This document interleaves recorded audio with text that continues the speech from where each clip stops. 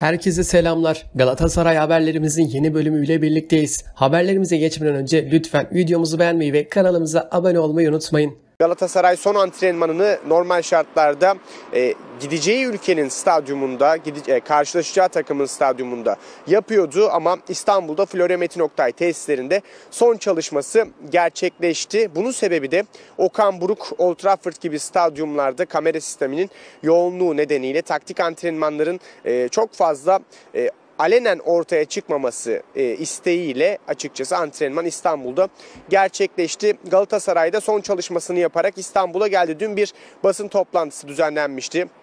Okan Buruk'la birlikte Wilfried Zaha soruları yanıtladı. Özellikle e, Kopenhag beraberliğiyle başlayan bir sezonu sormuştum Okan Buruk'a. Kaybedilen 2 puan mı yoksa kazanılan 1 puan mı e, görüyorsunuz Kopenhag maçında demiştim. Bu grup oldukça zorlu. Şampiyonlar Ligi'ndeki her takım birbirini yenebilir. O yüzden kazanılan bir puan olarak görüyoruz dedi Okan Buruk. Bu akşam çok daha zorlu bir rakibe karşı oynayacak Galatasaray. Manchester United'ın tabii ki e, son haftalarda, son günlerde e, çok da istediği gibi gitmediğini söyleyebiliriz ama her zaman İngiliz ekipleri zorludur. Old Trafford'da oynamak zorludur. Galatasaray'ın e, galibiyeti olmadığını söylediniz tabii ki. 2012-2013 sezonunda yine Manchester United'la aynı gruba düşmüştü Galatasaray. Deplasmanda mağlup olmuştu ama evinde rakibini mağlup ederek o maçı kazanarak gruptan çıkmayı başarmıştı ikinci olarak. Bu sezonda neden olmasın diyelim tabii ki. Temsilcimiz Galatasaray bu akşamda galibiyet için sahaya çıkacak. Dün Manchester'a gelen kafilede eksik futbolcular vardı. Hakim Ziyech ve Kazımcan Karataş'ın sakatlıkları bulunuyor. Onlar bu nedenle e, bu akşamki karşılaşmada forma giyemeyecek. Aynı zamanda Eyüp Aydın ve Halil Dervişoğlu da UEFA kadrosunda yer almadıkları için Manchester United maçının kadrosunda da e, yer alamayacaklar. Bu bilgiler ışığında bir muhtemel kadro paylaşayım sizlerle. Kalede Fernando Muslera görev yapacak ki 11 sezon önce Manchester United'ı yenen Galatasaray kadrosunda da kaleyi Muslera koruyordu. Bugün onun içinde bir dejavu olacak diyebiliriz. Savunmanın sağında Sasha Boy, solunda Angelinho'yu bekliyoruz. Stoper'de Davinson Sanchez ve Abdülkerim Bardakçı yer alacak. Orta sahada Lucas Torreira'nın partnerinin Kaan Ayhan olmasını bekliyoruz. Kanatlara baktığımızda e, özellikle bu anlamda değişiklikler olmak zorunda çünkü Hakim Ziyech biliyorsunuz sakatlığı nedeniyle az önce söylediğimiz gibi e, Manchester'a getirilmedi. Orada Tete ve Zaha'yı bekliyoruz. Forvet arkasında Kerem Aktürkoğlu yer alacak ki lig karşılaşmasında da Kerem'i forvet arkasında görmüştük. İleri uçta Mauro Icardi 11 ile Galatasaray'ın Manchester United karşısında sahaya çıkmasını bekliyoruz. TRT Spor ekranlarındaki Galatasaray gelişmeleri buraya kadardı. Biraz da gazetelere bakalım. Okan Burun zafer planı daha önce devirmişti. Galatasaray'da teknik direktör Okan Burun zafer planı belli oldu. Daha önce Başakşehir'in teknik direktörü olarak Şampiyonlar Ligi grubunda Manchester United karşısında 2-1'lik galibiyet elde eden başarılı çalıştırıcı bu kez de Galatasaray'ın hocası olarak Old Trafford'da tarih yazmaya kararlı.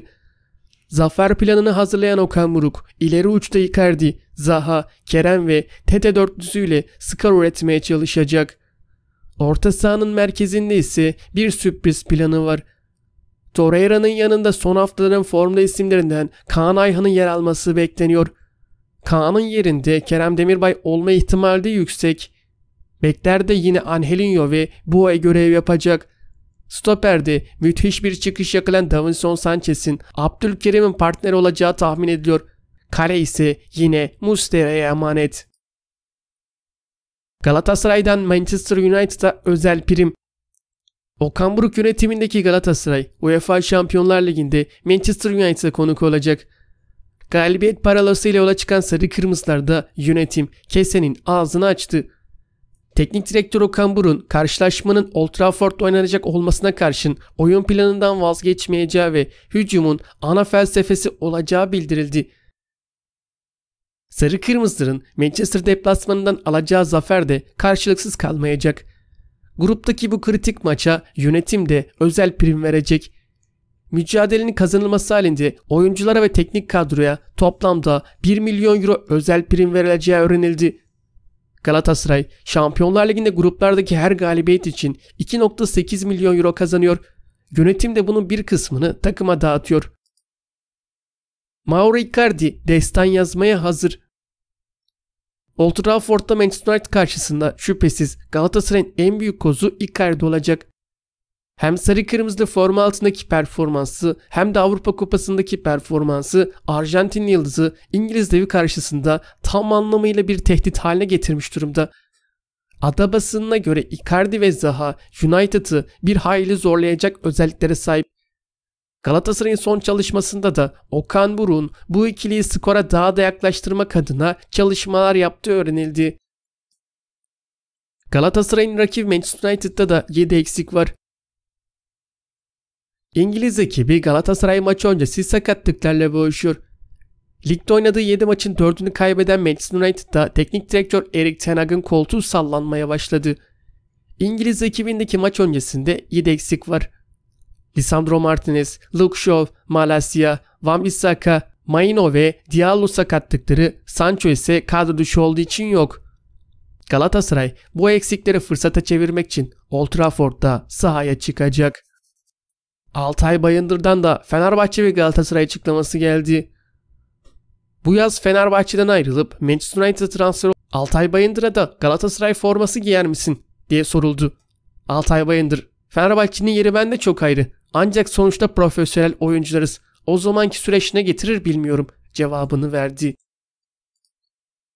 Galatasaray'da şeytanın bacağını kırma peşinde. Galatasaray 6 kez karşılaştığı Manchester United'ı sadece bir kez mağlup etti. Temsilcimiz Old Trafford'da hiç kazanamadı. Elde edilecek bir zafer hem tarihe geçecek hem de Aslan'ın gruptan ikinci çıkma şansını çok büyütecek. Galatasaray UEFA Şampiyonlar Ligi gruplarında bugüne kadar 117 kez sahaya çıktı. Sarı Kırmızılar söz konusu müsabakaların 28'inde galibiyetle ayrılırken 59 kez de kaybetti. 30 maç ise beraberlikte bitti.